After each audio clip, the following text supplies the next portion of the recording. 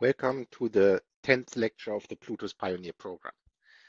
In previous iterations of this course, in the 10th lecture, I did another walkthrough where I showed how to create a smart contract, test it, write on-chain and off-chain code, and then finally deploy it with the PAB. However, that was before the Alonzo hard fork, so we couldn't try things on the real blockchain, and I just used the PAB simulator.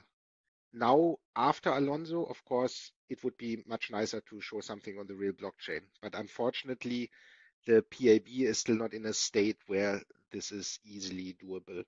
And apart from that, we have already done something similar in lecture six, where I showed how to use the PAB to mint a token on the testnet. So seeing as some of you asked me to say something about staking in Plutus, I decided to do that instead. And that was not really possible before the Alonzo hard fork.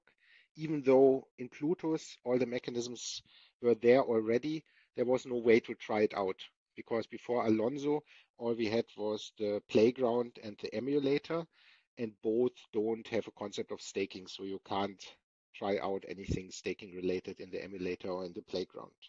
This is now, of course, different because after Alonzo, we have the testnet or the mainnet available. The second problem is that on the testnet and the mainnet, things take quite a lot of time.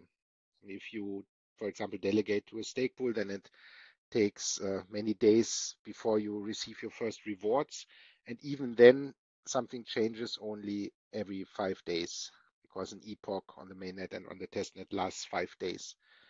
So in order to try something, one needs a lot of patience. And obviously, for obvious reasons, I didn't think that that was suitable for, for this lecture.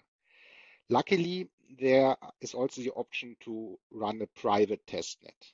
And the advantage of doing that is that you can use different parameters from the mainnet. So in particular, you can make epochs much, much shorter so that it's much easier to, to try something staking related because you don't always have to wait for five days before anything happens.